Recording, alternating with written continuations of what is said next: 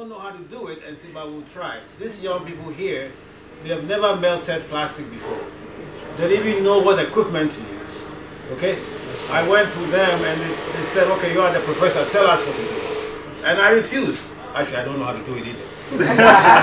and as uh, Auntie Renee was saying, you know, it's a lot of it's about asking questions. Yeah. No, seriously.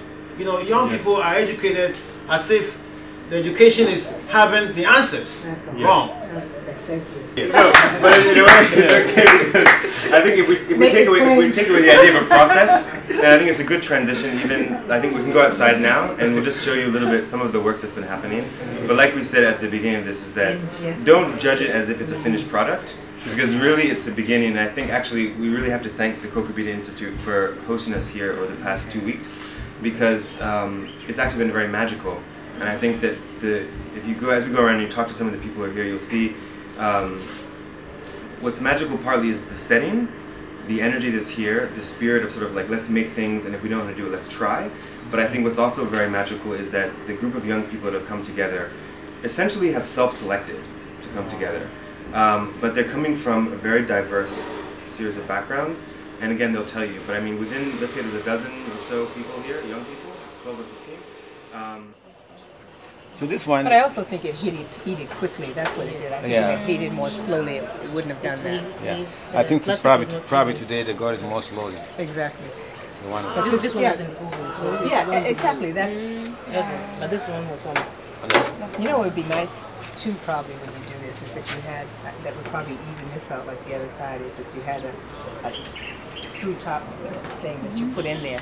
So then you, you know what I mean? Then you could release it and take it out, and that would be flat and smooth, just like the other side is flat. and smooth, You know.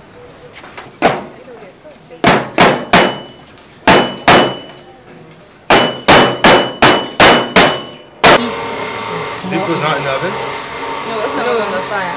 Ah, That's why This it's was expensive. this was. Also in the oven, but th- Okay. th- this particular material, we always get this when we. But this is the same as this. No, this is just quality. Plastics are, um, as we all know, they are synthetic polymers, different types of synthetic polymers. And they are generally considered toxic to the environment because of their non-biodegradable nature. But um, we, we want to um, experiment on the various methods um, to recycle plastics based on their characteristics, that's the physical and the chemical properties. So we went to Agbogbloshie, got some plastics such as PS, PP, PET, LD, PE, HDPE, amongst others, and based on their properties, we have recycled them.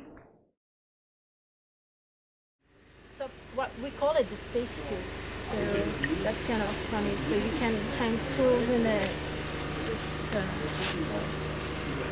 put your stuff, and, uh, and you have pockets everywhere. You can hide some money. And and Daniel has salvaged, as I said before, like some speakers. So you can imagine having speakers. If you turn your back, sorry. And here you could attach a solar panel, and so you could wire it to your mobile phone so you could charge your mobile phone so it's uh, and they've also played uh, with impregnating the fabric with plastic so this fabric could also be waterproof so when you go on site you have. And the guys from Olaf have done something like this. There's a computer in the jerry can. The basic concept is most of the computers are the e-waste dumping site have working individual working components. Have something, something like this, and this, and one thing is with this one is, you see, most of the people, children in villages who don't know computer, are familiar with the gallon. So to bring that same concept, they know the gallon. So with this gallon concept, they get closer to know more about computing and grow their interest in computing.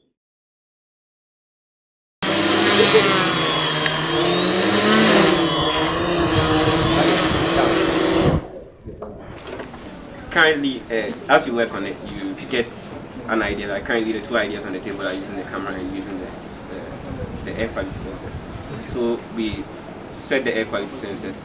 With the current idea we have in mind, it would be let's say work done in KNUST. You have the you have the skills and uh, you have the skills and support of engineers all around you, so you're able to do lots of lots of work. So you, you do work, do some small field testing, KNUST, bring that down, do a field testing aggregation. Right now, the construction of the makers space, you're able to get a place to actually house it.